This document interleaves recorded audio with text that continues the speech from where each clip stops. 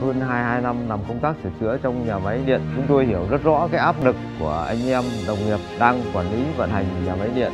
Phải đảm bảo cho dòng điện phát đi được liên tục, ổn định và an toàn. Cảnh các nhà máy điện về đêm làm chúng tôi rất là xúc động. Và sau bên trong các nhà máy này có những người thợ sửa chữa EBS, những người đồng nghiệp của chúng tôi đang ngày đêm làm việc tất bật hối hả, tận tâm phục vụ, không ngơi nghỉ với một mục đích giữ dòng điện liên tục an toàn.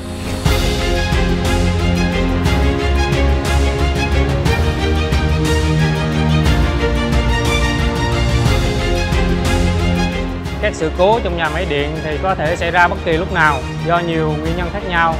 Thì nó đòi hỏi người thợ EVS phải có năng lực sửa chữa cao, phải luôn sáng tạo, phải tìm ra các giải pháp xử lý kịp thời để khắc phục sự cố thường xuyên đi công tác xa và làm việc xuyên suốt trong các kỳ nghỉ lễ. Nhưng điều đó không làm chúng tôi cảm thấy chạnh lòng mà chúng tôi cảm thấy rất tự hào vì đây là công việc ý nghĩa. Đã có lúc ờ, tôi tưởng chừng như không thể sắp xếp hài hòa giữa gia đình và công việc.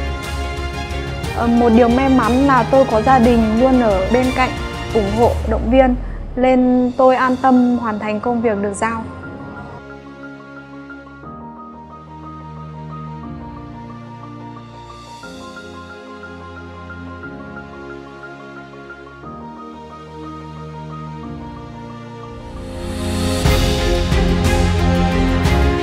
Ngoài mục đích đem đến cho khách hàng các dịch vụ với chất lượng sửa chữa tốt nhất, chúng tôi hiểu rằng việc xây dựng hình ảnh người thợ chuyên nghiệp, hiện đại, luôn trung thực, tận tâm phục vụ khách hàng là cách tốt nhất để bảo vệ thương hiệu.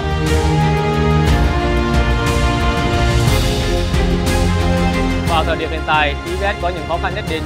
nhưng với nền tảng vững chắc về chất lượng vật trội, công nghệ đặc thù và văn hóa dịch vụ chuyên nghiệp cầu thị, chúng tôi tin rằng EVS sẽ vững vàng trên con đường đại chọn và con đường ấy sẽ đem lại lợi ích cho các nhà máy điện và cho cả đất nước.